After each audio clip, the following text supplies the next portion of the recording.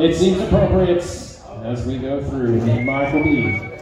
closing us out with some help from Cindy. I, have always fantasized about